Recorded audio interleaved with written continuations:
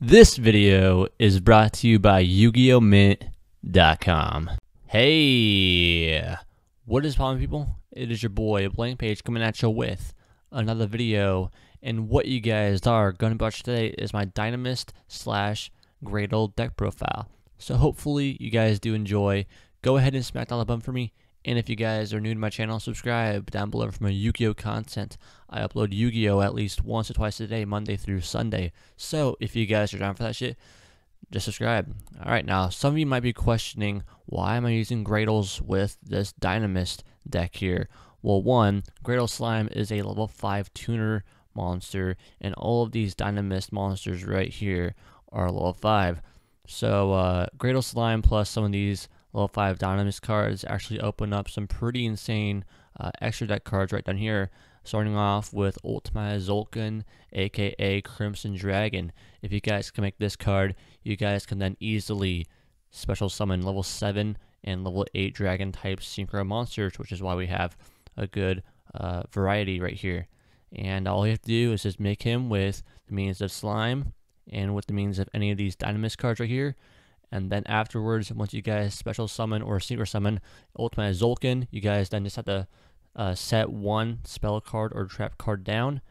And then from there, you guys can special summon one level 7 or level 8 Dragon Synchro monster.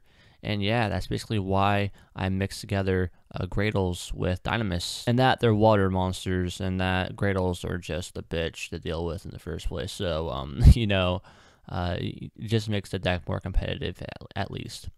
Uh, besides all that, I'm now just going to jump right into the deck profile, guys.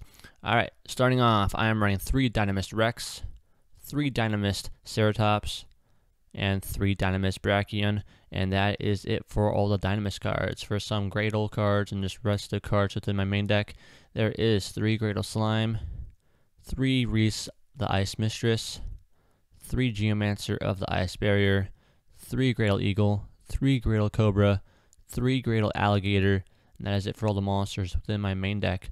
For some spell cards, there is two Salvage, three Dinomist Charge, three Supply Squad, two Desynchro, which just comes in handy because sometimes you'll make like a Moonlight Rose Dragon, destroy all your opponent's shit, then Desynchro it, and then just get your monsters back.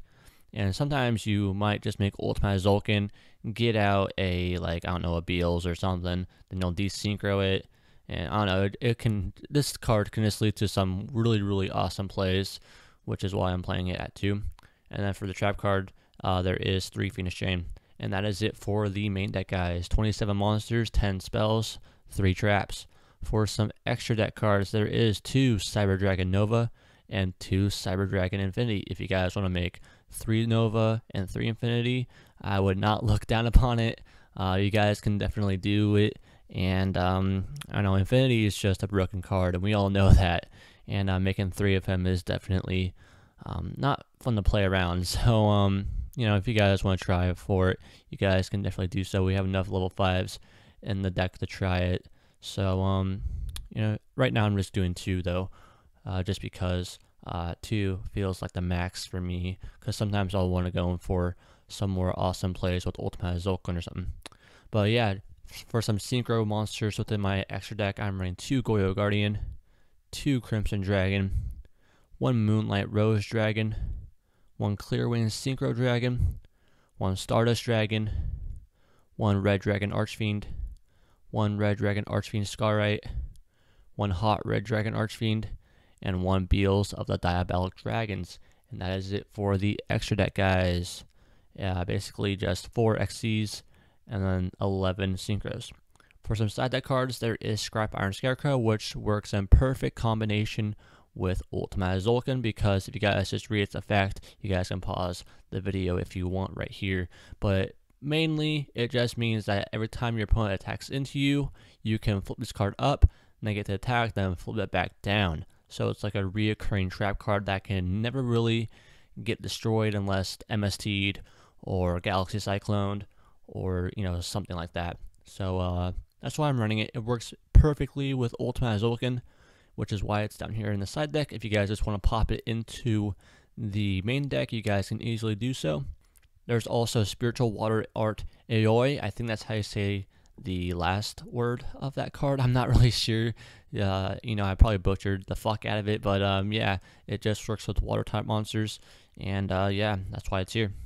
For some other cards, there is Break Draw, Aqua Jet, because why not? We have a bunch of water type monsters right up in here, so you know, you might as well give it. Um, I think it's plus uh, 1,000 attack. Yeah, so um, that, that's pretty good. There's also Great Old Dragon, Cloud Castle, which just allows you to target one level 9 monster in your graveyard and then special summon it. And then basically it also says level 8 or lower monsters cannot attack the turn they are normal or special summoned. So this card can really stall out your opponent sometimes, but it can also stall out you if you do not, uh, you know, have a level 9 monster out on the field. But obviously we have, uh, you know, some of these cards right to the right of it. So uh, we have Trishula, you know, he's a pretty beast card. That's why he's at one. There is Chaofeng, Phantom of the Yang Zing. He's really good. There's Mist Wurm, which is basically just like Trishula, except, um, I don't know, his effect is that when this card is synchro summoned, return up to three cards your opponent controls to the hand. I know that uh, Trishula banishes one card from the uh, battlefield, one card from your opponent's deck, and one card from your opponent's hand all to the banish zone. Uh, but Mist Wurm, basically, it just it's kind of just like a dumbed down version of it, or you know, a watered down version of it. But uh, yeah, Mist Wurm's pretty good. There's Shooting Star Dragon, Ascension Sky Dragon, and then Leo, the Keeper of the Sacred Tree. And uh, yeah, that's basically it for my side deck, guys. Um, supply Squad here just allows you to put in some really good draw power. Uh, these guys won't really be destroyed and sent to the graveyard. Uh, if you guys just put them in your pendulum zone. Uh, Greydle Slime, Beast card, allows you to make Ultimaya Tzolkin, and it can just really help with uh, these uh, level rank 5s as here. And then obviously, uh, Greydle Slime plus any of these three monsters, level 3 monsters right here, can also get you out like a Stardust Dragon or any of these uh, Red Dragon Archfiend cards. And then we also have um, Reese the Ice Mistress and Geomancer of the Ice Barrier as some secondary tuners. This is level 2, so this card plus a level 3 can actually make a level 5 um, Synchro, which we don't actually have, but I can come up with a really good one just for you guys off the top of my head, which is Armades. So um, he can just go right into the side deck right there. And then um, Geomancer the Ice Barrier is just a level 3 tuner plus a level 3 monster obviously makes Goyo Guardian. And then if you guys just get enough, gets and then if you guys just get off another Greydle monster on the field plus Geomancer, you can then easily just go right and into Trishula or into any of these other uh, level 9 Synchro monsters right here, which is uh, Mistworm, Chaofeng, and then Trishula. And uh, yeah, that's why these guys are basically here, and they're really good because they cannot really be easily destroyed. This car cannot be destroyed by level 4 or higher monsters, so if you guys just put this Kai in face down defense position, and then once your opponent attacks into him, he will not be destroyed and you will not take any damage, unless of course he has an Xyz monster, and he may or may not have that. Um, you, you have to take your chance though. And then Geomancer of the Ice Barrier, uh, you can declare one attribute, and then this card cannot be destroyed or selected as an attack target by that uh, one attribute in most decks nowadays. One usually one run one attribute per deck, like uh, Burning Abyss, they're dark, Shaddolls, they're dark, Lightsworns, they're light monsters. So um, you know that's that's what this card is basically here for. So uh, it's good, and then yeah, the rest of it is pretty self-explanatory.